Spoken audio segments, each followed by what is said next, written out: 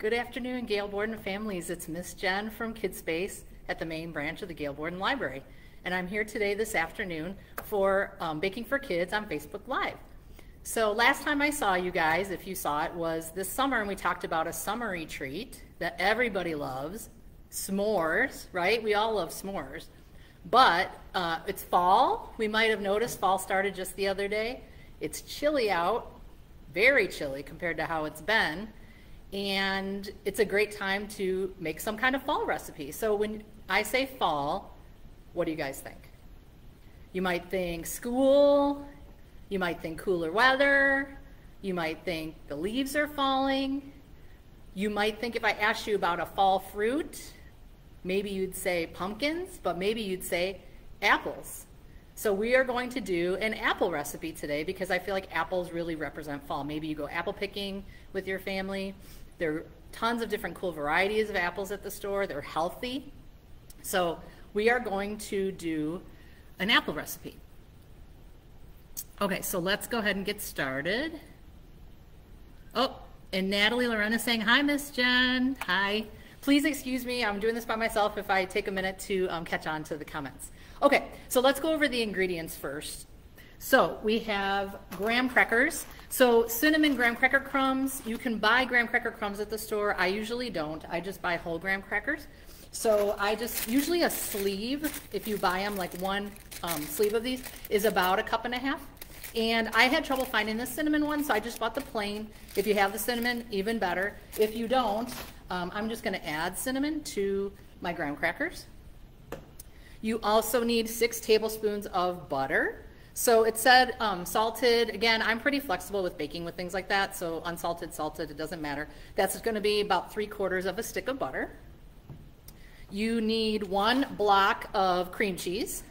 Again, you, you can always tailor a recipe to whatever you like. So if you want the lower fat cream cheese, the regular cream cheese, that's totally up to you guys. Um, you need sugar. I brought this from home, so it's in a baggie, but we need sugar. We need what I love, heavy whipping cream, or whipping cream is another way to say it. We need vanilla extract. And we need a can of apple pie filling.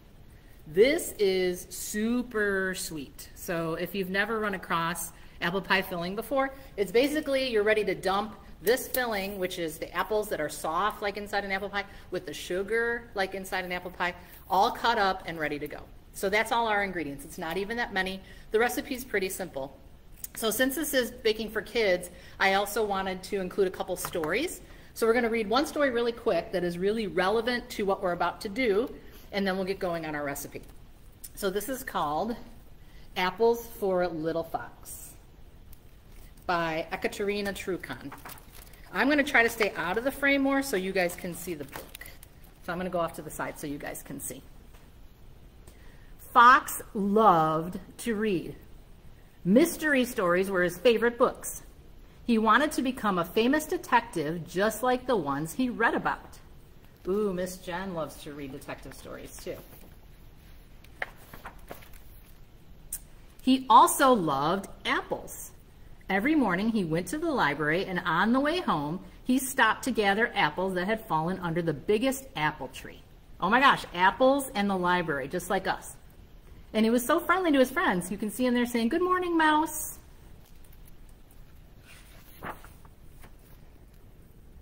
Fox read all day eating apples and imagining that one day he'd solve a mystery too. Every night, Fox wished that something mysterious would happen, but nothing ever did. Hmm. Nothing at all. All right, friends, I think this looks a little suspicious.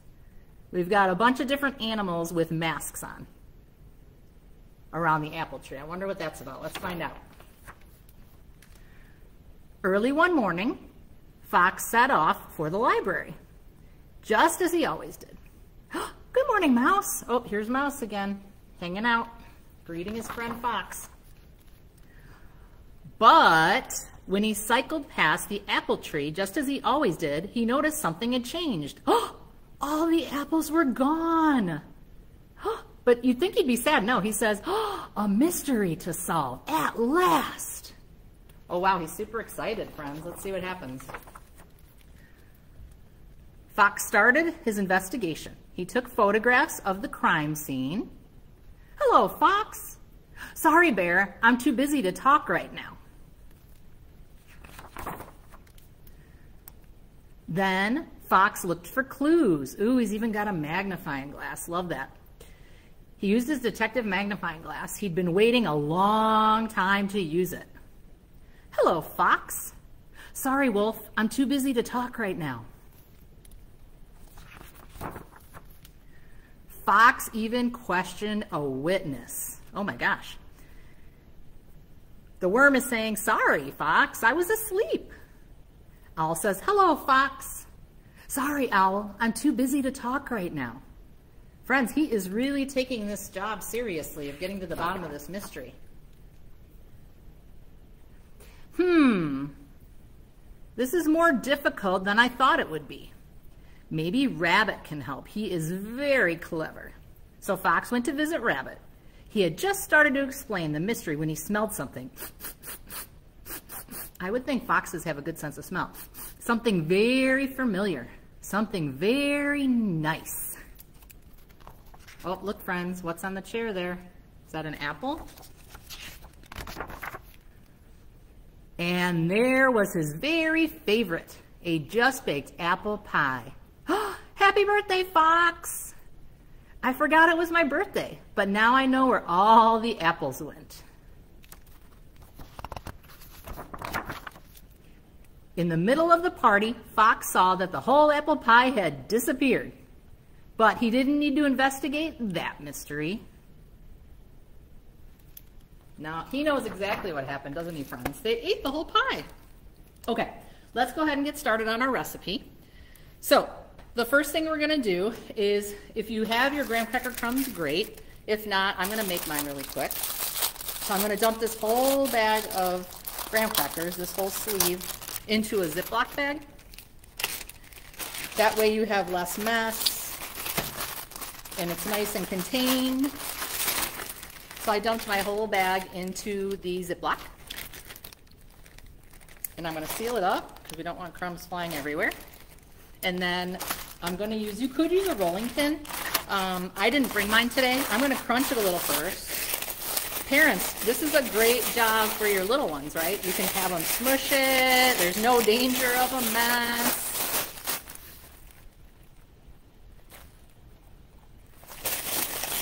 It's great for fine motor and gross motor. We're working those graham crackers. So I've started it, but I'm going to use my um, my can, I'll show you really quick, and roll it over it just like a rolling pin to create nice crumbs because we want graham cracker crumbs because this is going to be the crust of our apple pie.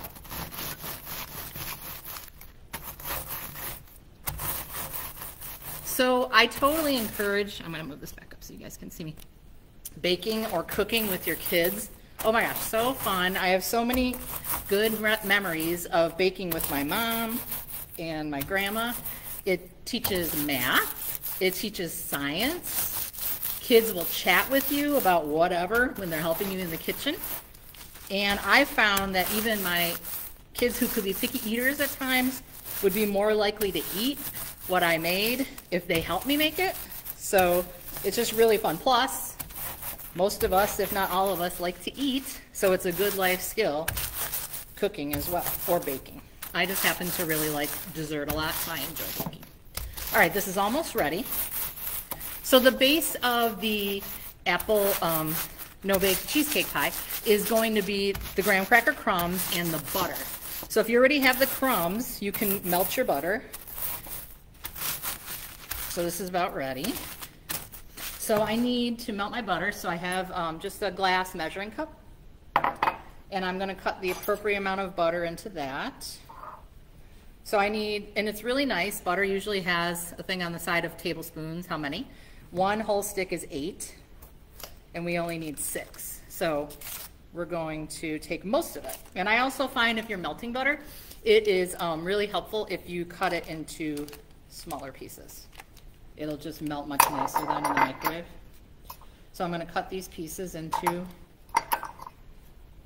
my glass measuring cup, and then I'm gonna microwave this for just a few seconds to melt the butter. Oh, I should mention, I apologize, I only mentioned the food ingredients, but you also need a pan, right? Our graham cracker pie, apple pie is gonna go somewhere. So a square pan.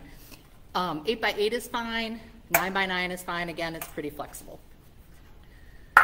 And then I have my measuring cup, measuring spoon, and I have a bowl for mixing um, the cream cheese, and I already pre-made the whipped cream, and I'll explain that in a minute. Okay, so I'm going to microwave the butter really quick, because then we're gonna combine the butter and the graham cracker crumbs to make our crust. I usually do about 20 seconds in the microwave, um, 20 to 30, depending if your butter's straight out of the fridge, then it might take a little bit longer. That's fine. Um, I actually use a lot of butter because I do bake and cook a lot, so I keep my extra butter in the freezer, believe it or not. And then if I need it, I just put it in the fridge until I need it. Um, so that's a tip you can do too. Okay, needs a little bit longer. I'm to do 10 more seconds. Um, if you, a couple other things while we're waiting, if you have someone gluten-free in your family, you can try to find um, gluten-free graham cracker crumbs. They probably exist. I know there's a lot of great gluten-free products out there. That would be fine. If you're not a huge fan of how sweet um, the apple pie filling is, or you don't like overly, overly sweet, you can cut up some apples yourself and then um, You'd have to warm them though on the stove with a little bit of butter and sugar probably to soften them. But you could decide how sweet to make it then. Okay, I'm gonna move this camera back again a little bit just so you guys can see. So here's my pan. And just to make this super easy, you take the bag of crumbs, just dump it in. Very simple. And then you're gonna pour your butter right into the pan. And then you're going to start stirring it because we have to mix it really well. So for now, I'll just use my knife. You could use a spoon. But the bottom line is you want to really distribute that butter with the graham cracker crumbs. It'll taste nice and rich. And then um, it'll stay nicer once it gets cold because we're going to have to store this in the fridge, right? Because we're going to have cream cheese and whipped cream. So this is definitely a dessert that will have to stay in the fridge after it's all prepared. And then even in between servings, um, you'll want it in the fridge also. Okay, so I've mixed pretty well my butter and the crumbs. And then there's a lot of ways you can do this. Um, since my glass measuring thing is um, dirty already, I'm going to use just the bottom of it to tamp down, and I'll show you. And I'm going to make a nice smooth level crust that way.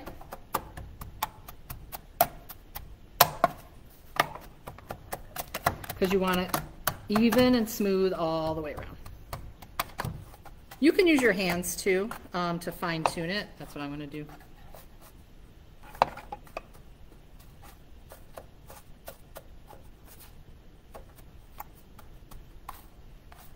Okay, so we kind of want to get that evenly distributed.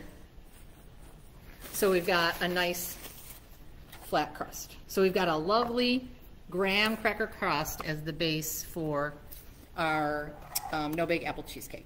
Okay, so the crust is made. I'm going to set that aside for now. And essentially, there's two more components. There's, because the apple pie filling is ready to go, right? It's I told you, it's very sweet already. The apples are soft. That's good to go.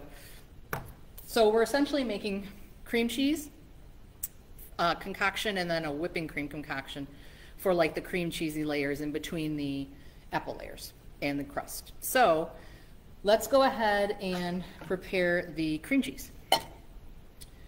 So you need a bowl I have my stainless steel, it doesn't matter what kind, except I would recommend something with decently high sides because um, you don't want it to splatter everywhere. And I left my cream cheese out for a little while so it would be soft because I'm sure you guys know when you've had it at the store before, um, it comes refrigerated, right, and it's pretty firm. So, and you will need your hand mixer or your stand mixer, either one, but this is the time to get that out if you're doing this along with me. So I'm gonna dump the, open the cream cheese and dump that into my bowl.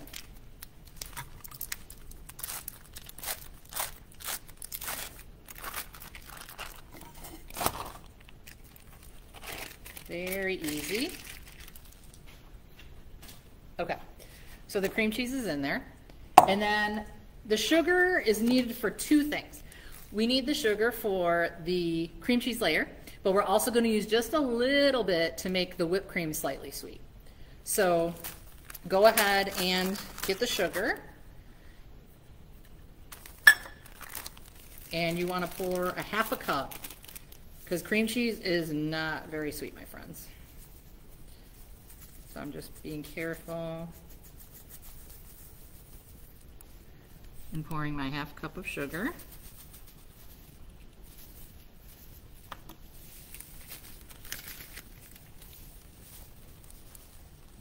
Okay, close enough. So that's all that's going to be in this layer, the cream cheese and the sugar. So I'm dumping the sugar in. And then I apologize in advance. This is going to be slightly loud. There was no way around this. So I'm going to turn my hand mixer on for a couple, uh, maybe a minute to blend this together so it's a nice soft cream cheese consistency. So let me do that. I always start on low because I don't want it to fly everywhere. So let me show you. Okay, here we go.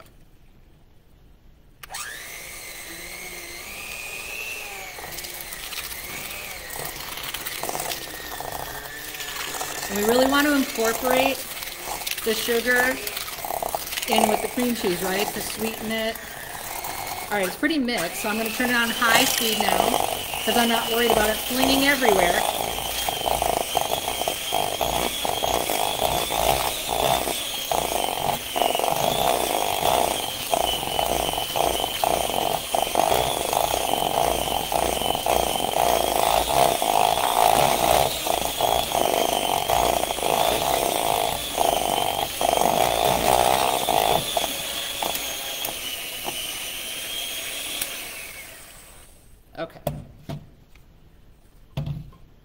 So there is the cream cheese layer. Pretty easy, right? It's just the two ingredients. It really does help if the cream cheese is softened. If you um, happen to forget to take it out, it's not a big deal. You can even microwave it a little bit. I've done that before. That's not a problem. Okay, so that was in our next step. Now we're going to, at this point, this is when you would make whipped cream. Okay, so Miss Jen did do one cheat and I made my whipped cream ahead of time because this definitely takes a while with a hand mixer or a stand mixer to make. And I didn't want you guys to have to sit and listen to my hand mixer for a good five minutes. Um, so that does not make good for Facebook. So what I did was poured my heavy whipping cream. So this is, in case you're not familiar, the liquid version of what you buy at the store. Um, it's just the liquid version, like the pre-made version, and then you whip it and it creates air and it turns into whipped cream. Now with this one, it's the whipped cream because you it's plain whipped cream, it's whipping cream, but the stuff that you get like Reddi-wip or something like that has um, sweetener in it. So we did add, I added a little bit of sugar, three tablespoons, and a tiny bit of vanilla extract. So it's just the whipping cream, the sugar, and the vanilla extract and I whipped it for maybe three minutes.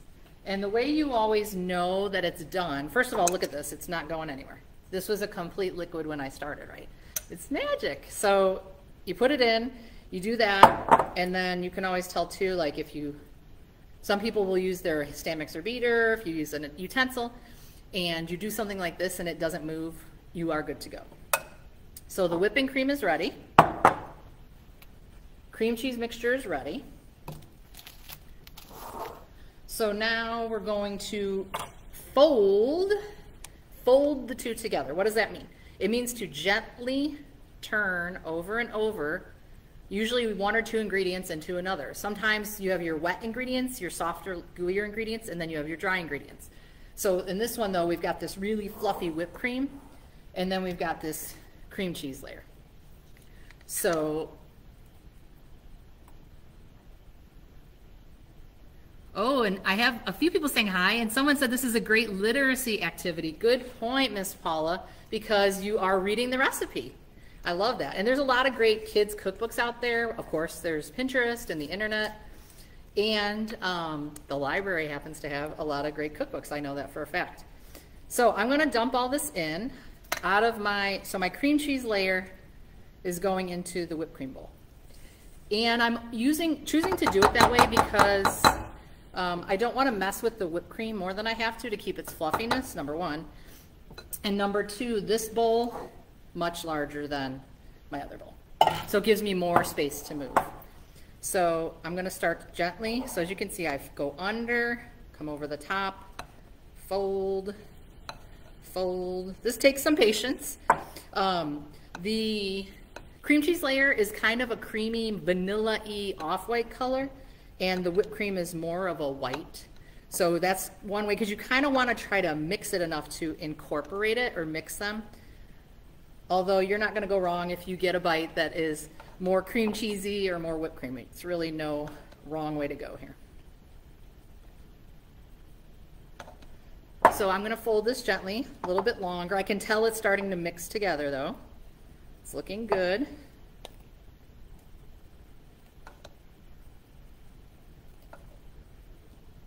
Little bit more. Sometimes stuff will settle on the bottom and you really want to make sure you incorporate all that. If you make brownies, let's say, or cake batter, have you ever noticed like at the bottom of the bowl there's the dust, I call it the dust, like the, um, the powdery batter, right? You want to keep turning it over so that you mix it all together. Okay, I feel pretty good about how mixed this is. I use my um, rubber spatula you could use a spoon too, a wood spoon, or if you have a big metal spoon, that would be fine. Oh, one tip for um, making the whipped cream too is if you have a metal bowl, for sure, like a stainless steel, or maybe a glass bowl, but definitely metal, you can put the bowl in the freezer. I put my, my beaters, the things attached, in the freezer or the fridge usually. The colder all the parts are for making your whipped cream, the better for sure. It'll turn out nicer and fluffier and is more likely to work. Okay, so that is ready. So to review, we've got the graham cracker sleeve crushed to crumbs mixed with our butter. We have got the cream cheese mixed in with some sugar, and then that is separate. We had the heavy whipping cream or whipping cream mixed with um, a little bit of sugar and our vanilla. Delicious. Okay, now the ingredient, the main ingredient, the one we've been talking about for fall, the apples. So let's, this one I'm lucky has a pop top on it, so I'm going to open it.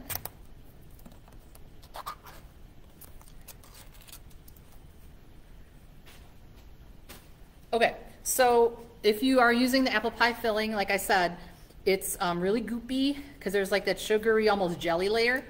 And here's a really fun thing to do. And luckily the apples are so soft you can use a butter knife. So I am going to, because these are fairly large pieces of apple, which I think would be difficult to eat. So I'm going to use a butter knife really quick and just kind of cut them. So you can just kind of run it through up and down the sides, kind of pushing the apples against the sides of the can, the knife, I'm sorry, squeezing the apples essentially between the knife and the edges of your can, just to break them up a little bit. Grown-ups, if you're finding that difficult, you can also, of course, use a sharp knife too. Um, but if you want to let the kids do it and you feel uncomfortable, with a little bit of patience and time, the butter knife will work to cut the apples. Because the smaller the pieces, it kind of spreads out nicer and um, it's more edible. That It's a little easier to chew, right, if we have small bite-sized pieces. Okay, this is almost ready. I just want to make sure it's in a good spot. I can hear it. I can hear the apples kind of crunching a little bit as I cut them. Um, another question, or if you don't love apples for some reason, they sell different types of pie filling. So anything you think would sound complementary to the cream cheese, you absolutely could do. Blueberry, cherry, I mean, I think blueberry cheesecake, no bake sounds really good. And they sell all those pie fillings together in the store. Okay, so that's ready. So before we assemble, I want to do one quick story. This one's quick, but it's so cute and hilarious. And then we will assemble and we'll be all set. So this one is called Hungry Bunny by Claudia Rueda.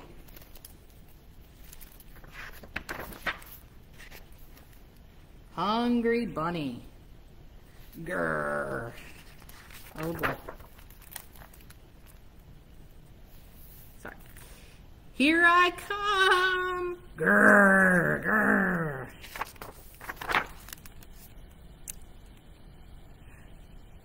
Can you hear my tummy rumble?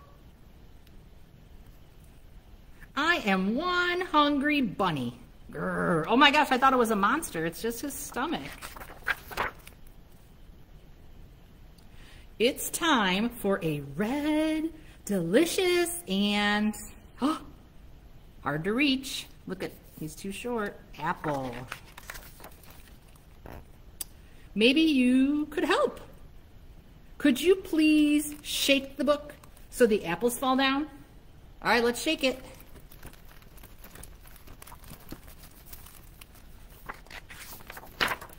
Not the leaves. Uh-oh. Okay, friends, he says, can you blow them away? Everybody help me go. Did it work? Let's see. Oh my gosh, that looks so cool.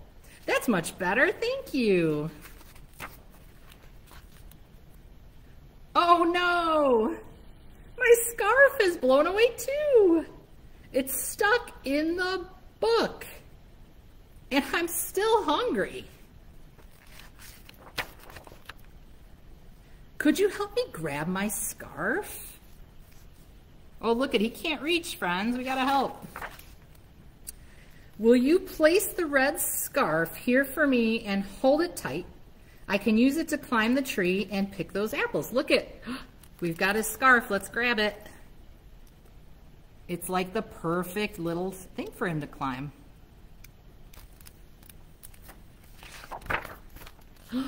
Just one more. Oh boy, he loves those apples, friends. Great teamwork! I got them all. Can you hang on to that scarf for me? We can do that, right? Whoops, I'm running late. What an uphill battle. Oh boy, guys. He's got this wagon full of apples and the big hill. Wait a minute. What? Why am I going uphill? We can fix that. Can you tilt the book for me? Can we tilt it? Let's do it. Oh my goodness. Oh, Easy as pie. Now my wheels are turning. Why don't we have even more fun? Would you rock the book back and forth? Okay, Rabbit, if you say so. We'll rock the book. Oh, Zowie, keep going! Oh my gosh, look at those hills, you guys. And get ready to turn, turn, turn. Oh my goodness. He would probably like roller coasters, huh? Uh-oh. Get ready to tumble. We've hit a little rock or something. Oops. I guess I upset the apple cart. Where are all the apples? Here they are. I'll just pick these up. He spilled all the apples, friends. He was getting a little too crazy. On the road again. Oh, But what's this? Oh my gosh, friends. What are we going to do? Hey, I think I'm going to need some help. Can you use my scarf to make a bridge? Ooh, give Miss Jen a second. Let's see if we can do it. Can I make a bridge for rabbit? We did it! We made the bridge. Is he going to make it across? Let's see. Oh, perfect. Thank you. I'm at the end of my rope. Haha, very funny, Rabbit. Good thing I'm almost home. Ooh, he's ducking into his warren, his little den. Oh, I'm stuck. Would you please give me a little push? All right, let's push. Everybody help. Push. Woo! Pop. Right on time for Mom's apple pie. Oh boy, he had to bring those apples home for the pie. Not a bad apple in the bunch. Yum. We saved a piece for you. The end. All right, I thought that was so cute. I love Rabbit. He's super mischievous. Okay, but he knows how to have fun and he loves apples like we do. Okay, so we've got all our layers. So once we're set, here's what we're gonna do. We have the crust to start. We have the cream cheesy whipped cream filling, and we've got the apple. So I'm gonna take about half of the cream cheese filling, the whipped cream cream cheese, and put it on top of the crust. So let's do that. And this is just, you know, a rough estimate again. That's another reason I really like this recipe. It's very forgiving. It does not have to be exact. Sometimes with baking, I will say you have to be very exact. Otherwise, like cookies can turn out flat or things won't work. But with something like this, that's very easy and kind of rustic, um, that's not as important, which is really nice, especially if you're going to bake with kids.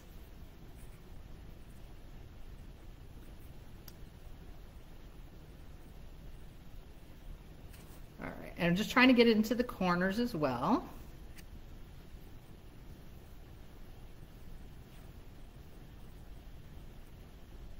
I'll show you guys in one second. Okay, so there we go.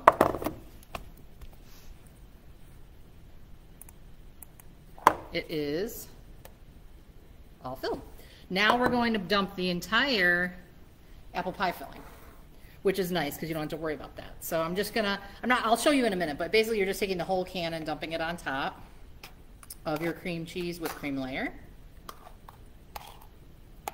And as you're dumping it out, if you see, you know, pieces of apple that are still too big, you can cut them as you're going here.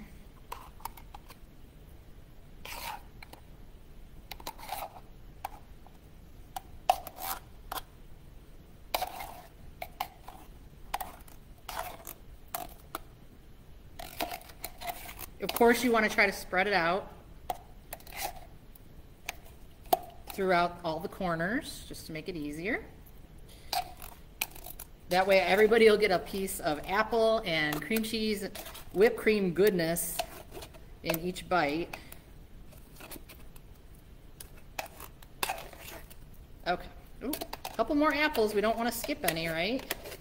We want all the delicious apples we can get. One more. There's a stubborn one stuck here. Okay. I did pretty good cutting. I only have like one or two apples that didn't cut into small pieces, so I'm going to do that right now. Okay. So, uh, we've got half of the whipped cream cream cheese on top of our graham cracker and whipped cream crust. And then the entire can of apple pie filling. Like I said, you could substitute um, other fruits, maybe even, I don't know, pumpkin. I, I, it's not, well, it is fruit. It's a little bit different texture, but you could try it. I mean, that's another fun thing about baking is to experiment, right? And have fun with it. Okay, then you're gonna dump the rest of your whipped cream. So let me show you really quick. Here is my apples now, my apple layer. It's so thick, I mean, I'm not gonna hold it on its side for a long time, but it kind of stays.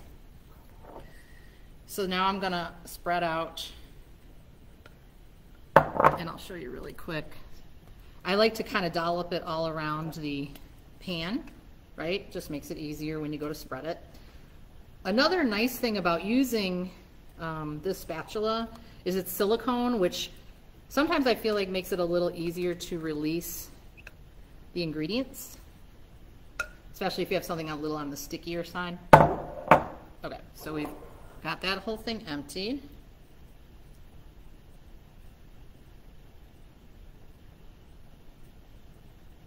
So now I'm just spreading it out. Again, trying to do it kind of evenly so that each bite will have the two layers of the whipped cream cream cheese plus the apple in the middle and the delicious graham cracker crust. I love graham cracker crust. I mean, I love pretty much all dessert, but I really like graham cracker crust, especially with um, pies or fruit pies.